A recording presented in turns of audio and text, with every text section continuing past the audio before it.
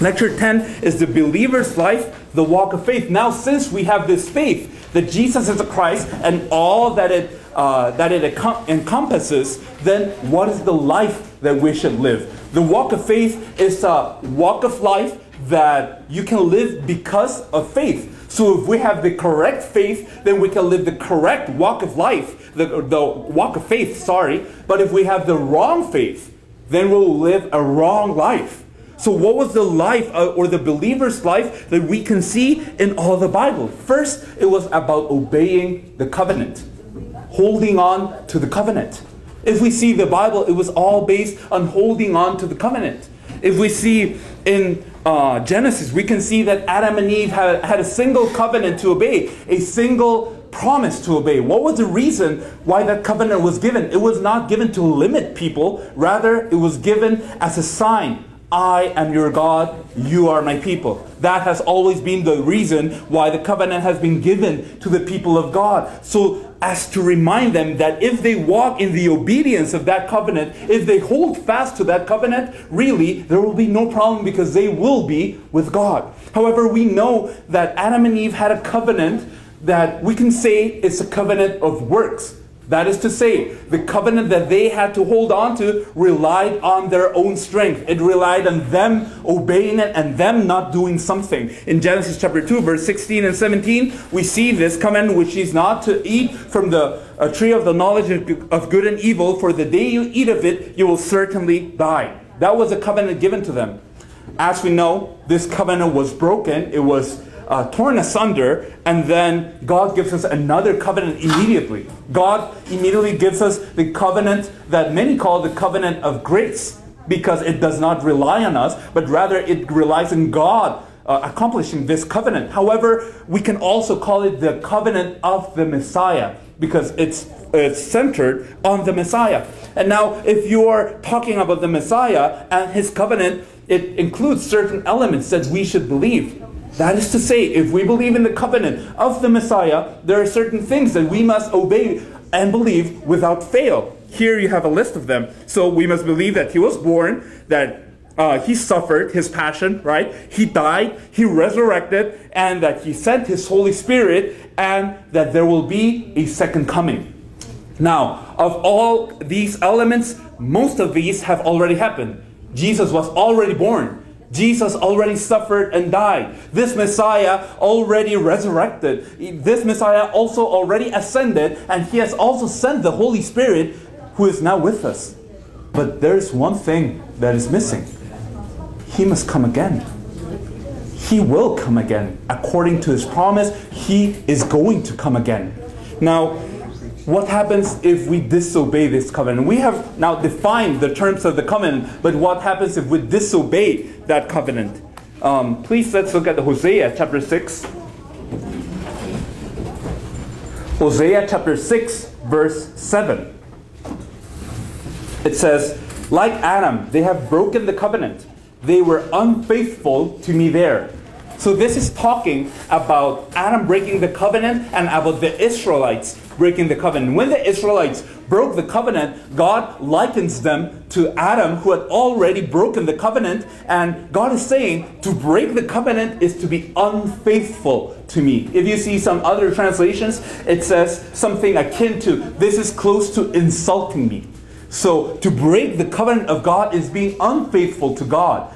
But Adam did that, Eve did that, the Israelites did that. And it's very easy to point fingers. Because of Adam, now I am in a state of death. Because of the Israelites, then we're in a state of death. But how about ourselves? We have a covenant as well. We were given a covenant of the Messiah as well. Are we keeping that covenant? Or are we like Adam, who through disobedience allowed death to come into this world? Aren't we just the same? We should check ourselves also. So the believer's life is a life you live because you believe. Believe in what? Because you believe in the covenant. And if you believe in the covenant, then you obey it. This is a very childish example, but if your uh, mother tells you, don't put your hand in the fire, it'll burn you, then what happens? You either obey or you not, or you, or you don't obey. One of the two, right? But what happens if you don't obey? Why did you not obey? It's because you didn't believe in her.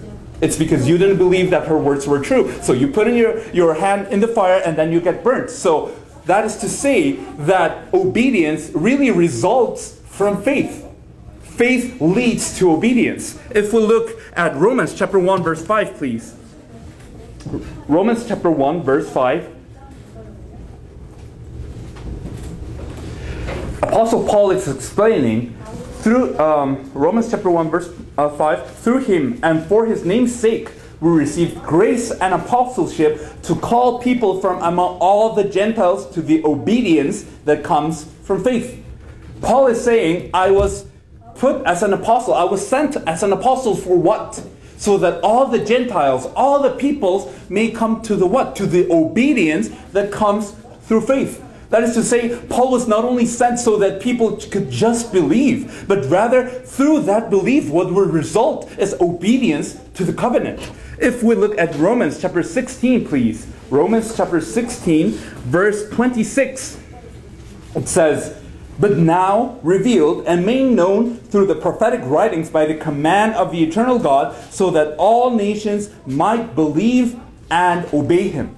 So here it says that the gospel itself, right, the mystery of God, it was revealed now. It was hidden long since long time ago, but now this revelation of the gospel of the Christ is now shown and revealed and made known through all the prophetic writings. For what purpose? So that we, uh, as all nations, might believe and obey. If we look at uh, 1 Peter chapter 1 verse 2, please. 1 Peter chapter 1 verse 2 it says who have been chosen according to the foreknowledge of God the Father through the sanctifying work of the Spirit for obedience to Jesus Christ and sprinkling by his blood grace and peace be yours in abundance. Now when we see all these verses we we know that the Bible is telling us to obey. The gospel was given to us so that we could believe it. And because we believe we obey that is because many people ask, okay, so what can save me? Can my faith save me? Or does my obedience save me? So is it by works or is it by faith? Evidently, the Bible tells us that it is by faith. Ephesians tells us that it is by faith so that no one may glorify himself. The salvation is by uh, believing uh, through that grace that God gives us. However, if we truly believe, James says, Have you believed? Then show me your belief through works. That is to say, if I truly believe in something, then naturally my life will live towards that faith. My life will run towards that faith and it will act in accordance to that faith. That is the true life of a believer. If, you, if we look at 2 Corinthians chapter 10, verse 6, 2 Corinthians chapter 10, verse 6 tells us, and we will be ready to punish every act of disobedience once your obedience is complete. So God really wants us to have an, a complete obedience. He wants us to have, to have a full obedience. And now, a lot of people may get confused on what obeying is. So, okay, I need to obey God, but what is obeying God? There is a verse that encapsulates um, this, uh, this obedience to God in a in such a, a compact manner in Matthew chapter 16, verse 24 Jesus himself says. Then Jesus said to, this, to his disciples, If anyone would come after me, he must deny himself and take up his cross and follow me.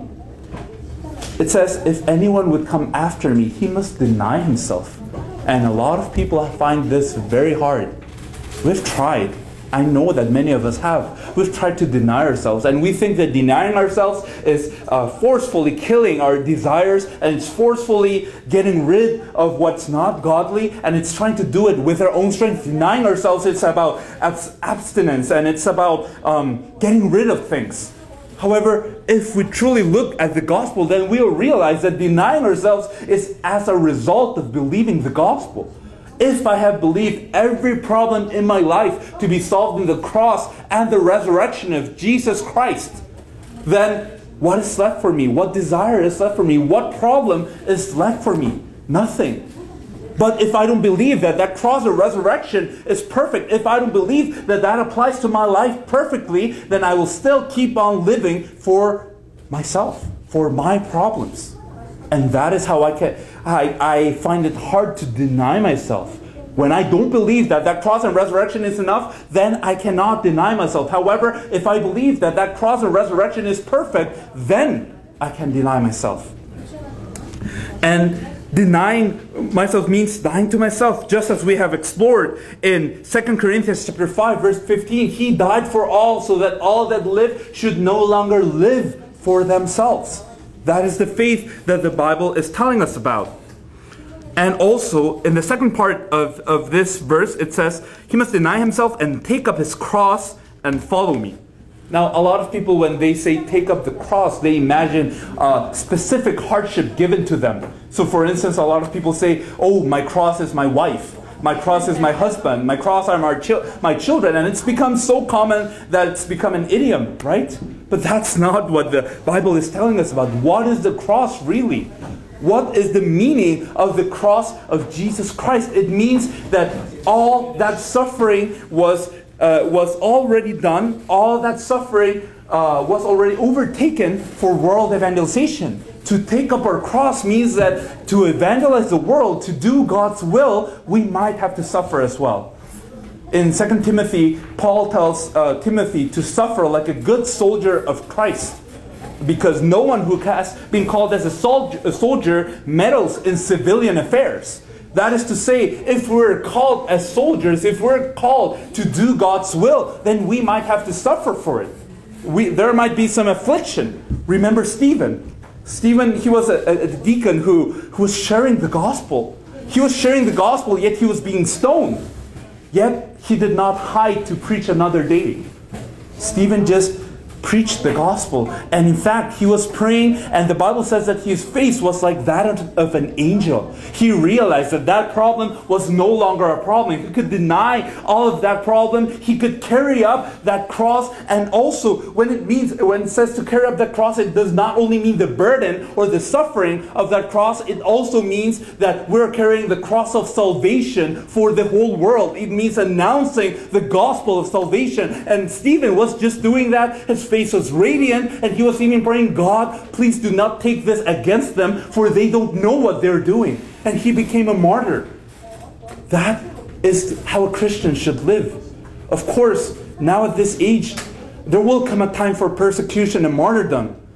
But really, to deny ourselves and to live for the sake of the will of God, that is the life of faith. That is the life that our faith leads us to. So, those who follow Jesus Christ in Matthew chapter 4 verse 19 if I follow Jesus Christ it tells me that I will become a fisher of men. That is to say God's blessing upon those who have believed. The walk of faith is related to the evangel- uh, to evangelism and to evangelizing the world. John chapter 8 verse 12 it, it also says that those who follow Jesus Christ never walk in darkness but in the light that is to say not only is my life devoted to God's will, but also it is devoted to what God is giving me. I will never walk in darkness, but in light if I remain in the gospel. So we live with the Lord. The life of a believer is a life of Emmanuel. It is not a burden that God has given us to live a life of faith. A lot of people think that they are burdened with that life of Emmanuel. However, uh, sorry, with that life of faith. However, God has uh, given us the blessing of Emmanuel, which means that God is with us until the very last day. God dwells with those who are saved. God is with those who have believed.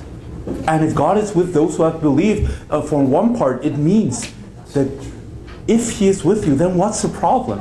There's no problem if He is with you. But on, on the other hand, it means what great responsibility we have before our Master. We're walking with Him, with God. In uh, Romans chapter 14, verse 8, it says, If we live to the Lord, if we live, we live to the Lord. If we die, we die to the Lord. Our life is no longer ours. It's no longer for my desires. Because I am with the Lord, I live for the Lord, I die with the Lord. Uh, 1 Corinthians chapter 10 verse 31 says, "So whether you eat or drink or whatever you do, do it all for the glory of God." What does this mean? It means that everything that it's in my life, it should be in service to the will of God. That is the walk of faith. It's not having my own interests in one hand and having uh, God's interests in another and trying to balance them out as many Christians do, but rather it is because all of my interests have died already, because He has taken care of everything, now I can take God's will in both hands and run with it. He has provided for everything, He already solved everything. So whether I die, whether I live, whether I eat, whether I drink, everything should be done for the glory of God. And that is what the Holy Spirit is guiding us to do. If I occupy myself, if I truly live for that world evangelization, if I live for God's will, then I will have no time to gratify the sinful nature of the flesh. Now, we have uh, said that living a life of faith, living a believer's life, is holding on to the covenant. What covenant is uh, is the covenant that we have now? What is the covenant that's left to be fulfilled? He already, uh, he, he already came to this earth. He already died. He already resurrected. He already ascended. He already sent the Holy Spirit. But there's one covenant that is remaining. If we look at um, Matthew chapter 24, verse 14, please. Matthew chapter 24, verse 14, it says, and this gospel of the kingdom will be preached in the whole world as a testimony to all nations. And then the end will come. So, among all the signs of the end, there was one sign that corresponded to the church. That is to say, among all the earthquakes, wars, famines, all the chaos in the world that would precede the coming of the Lord, there was a mission for the church. There was, some, there was a covenant given to the church. When this gospel of the kingdom, when this gospel of the Bible is preached to all nations as a testimony, then the end will come. Then the Lord will return. Then that covenant will be fulfilled. So, what was the mission of the early church? What was the life of the early church? Why did they preach so vehemently? Why did they run with such passion? Why did they stake their lives? Why did they sell everything and put it to the feet of the apostles? Why did they share everything? Why were they not afraid to deny the name? Why did they die for that? They believed that Jesus is the Christ, that all problems have been finished in the cross, and that their life should be given to this cause to evangelize the world so that the Lord may come. Now, if you see this verse, verse 24, it's not, uh, sorry, uh, verse 14, it's not about a relaying of information. It says that the gospel will be preached as a testimony. Let me ask you, how many people in Canada know the name Jesus? How many people in Canada know that Jesus died for their sins? I would dare say more than 90%, right? More than 90% of Canadians know the information that, uh, uh, that Jesus had, has died for them on the cross and, and that he resurrected. However, has it been given to them as a testimony? Has it been get, relayed to them as the life of someone who truly believes that Jesus is the Christ? Has the gospel that Jesus is the Christ truly been presented to them? I would say maybe not even 1%. So there's a lot of things that the early ch- uh, that our church, that the church here in Canada and ourselves, that we're accountable for. And when should this happen? A lot of people live for the covenant in their spare time. That is to say, okay, I have the covenant. God wants me to save people. God want, wants me to rescue the souls, but I'll do it after my family. But I'll do it after my needs. But I'll do it after, you know, all those things that were solved in the cross. But uh, let's check this verse, please, in Matthew chapter 16, verse 28. Matthew chapter 16, verse 28, Jesus himself says, I tell you the truth. Some of who are standing here will not taste death before they see the Son of Man coming in his kingdom. Now imagine you're the apostles who received that word. Jesus was telling the apostles, Some of you will not taste death before you see the Son of Man coming in all his kingdom. How would you have lived? That is to say, when Jesus told this word to the disciples, they believed that Jesus would not come in 500 years. He would not come in 1,000 years. He would come in their lifetime. Some of us will not be dead and Jesus will come. It was very fast for them. So every waking moment of their lives, it was to hold on to the covenant and to fulfill the covenant of what? Of sharing the gospel to the ends of the earth, to testify that Jesus is the Christ, even if it cost them their resources, their life. Even if it cost them all of that, that was the happiest life they could live. That was the life that God truly saw, and He was amazed by that life. That was the life that pleased God. That was the life of the early church. What about us? Are we holding on to the covenant, really? We might say with our words that yes, we're living for God, we'll live for God's will, yes, we will die for God, but are we truly living this covenant? Are we?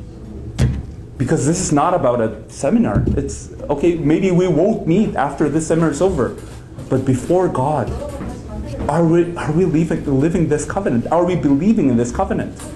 So, to summarize, Jesus is the Christ, He is the Son of God. Only through Him can we meet the Father truly. The Holy Spirit constantly gives us testimony about this Christ. And the Holy Spirit has come to us so that we might also give testimony of the gospel. Now, the life of a believer is a life that results from faith. Obedience is something that comes as a consequence of faith. And what do we obey? We obey the covenant of God, which is the covenant of the Messiah. And of that covenant, many things have already been fulfilled. The cross and the resurrection is perfect, but there is one thing that God is waiting for, that God is still in the process of doing, and that He's waiting for us to do it. In simple terms, He's waiting for us to evangelize the world, but 2,000 years have not been enough we believe our interests to be more pressing. However, God has promised some of you will not taste death before you see the Son of Man coming in his kingdom. Many apostles died. And in the end of the first century, many were asking, okay, Jesus promised this. He promised that some of the apostles would not die before they saw the Lord coming, but now all the original apostles have been martyred. And so, what's going on with this promise? Did Jesus lie? Or did we misunderstand? Did Jesus already come and we did not realize? What's going on? The world was not evangelized yet. And this same verse, Matthew chapter 16, 28, was not only given to the apostles at that time. This is the faith that he desires of us, of each one of us, to live for the coming of the Lord. And that's when I can be called a Christian. Acts chapter 11, verse 26, tells us about the first instance in which the disciples were called Christians. It was not themselves uh, calling themselves Christians, it was their enemies calling them Christians. They saw that life of obedience. They saw that walk of faith, of believing in Jesus Christ, holding fast to the covenant, and living for that covenant. They saw this in those people. And that is why, in a derogatory manner, they would call them Christians because they were so similar to that Christ. Today, do we have that? Today, are we living that life of faith? This life of faith has been lost in the whole world because the gospel has been lost. And because the gospel has been lost, it's not losing hold of one thing. If the, if the rock has been lost, everything that's edified on that rock crumbles down. So if the gospel is restored, if that rock is restored, our life of faith that follows from believing that, that should be restored as well. Let us pray. Father God, we thank you. We thank you because you have allowed us to share a little bit of the gospel. Please allow your Holy Spirit to convince us of, of what we need, Lord. Let us live for the sake of world evangelization, to stake our life on it, because we will be facing you one day, Lord. You will come as judge and Lord, we desire to be your faithful servants up until that day. In the name of Jesus, who is the Christ, we have prayed. Amen. Amen. So we'll have a 15 minute break and then we'll continue on.